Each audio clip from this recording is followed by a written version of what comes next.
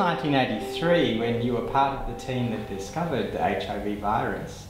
Did you personally expect the consequences of HIV would be so serious and widespread?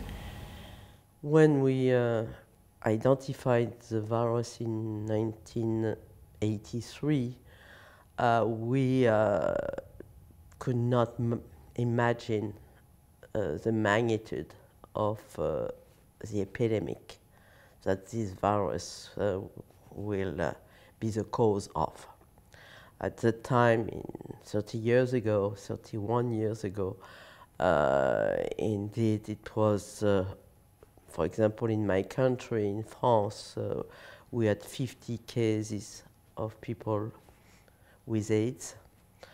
Uh, most of them were what uh, we call at that time people at risk for AIDS, uh,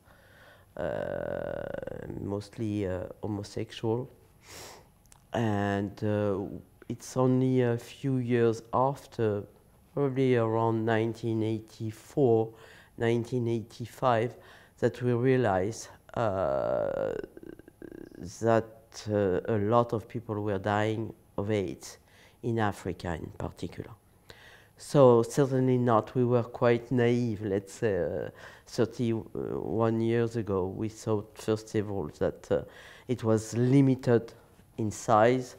Uh, we were not thinking about uh, a real epidemic, and secondly, we we uh, very simply thought that uh, we have identified the virus, we uh, will develop very rapidly, rapidly diagnostic test, a vaccine, we will have a treatment, and everything will be solved in within few years. What lessons have you learned from the nature of the response to HIV and AIDS, and what lessons can this do you have for global health generally, do you think? The response to, um, to HIV, uh, I, think it's a, it's a model.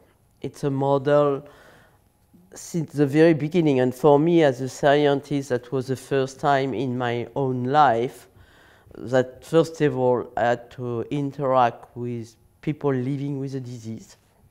Uh, generally, scientists, you know, are working in their lab on disease, but they are working on very specific topic, and they don't even think too much about patients themselves. It was not the case with HIV. Since the very beginning, uh, it turned out that uh, the patients themselves were coming to the lab. They were not coming to see us because we were doctor. I'm not a doctor personally. They just wanted to know from the scientists what is this virus? What are you going to do to find a solution, to find a treatment? So that was exceptional. It's, as a scientist, uh, also, I used to say it's very frustrating to see that uh, science has delivered a lot, I think. And uh, uh, scientists uh, everywhere in the world have been really, uh, they made a great job. They deliver.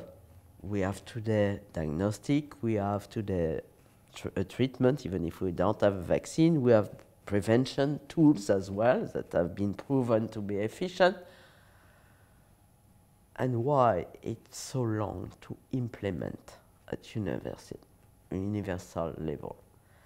This is really frustrating as a scientist, as a human being as well. and uh, it's a reason that sometimes I say it's, uh, the scientists somehow are becoming activists because we cannot accept this kind of situation. So it's nice uh, to work with our colleagues, the activists, to make things to, to go further.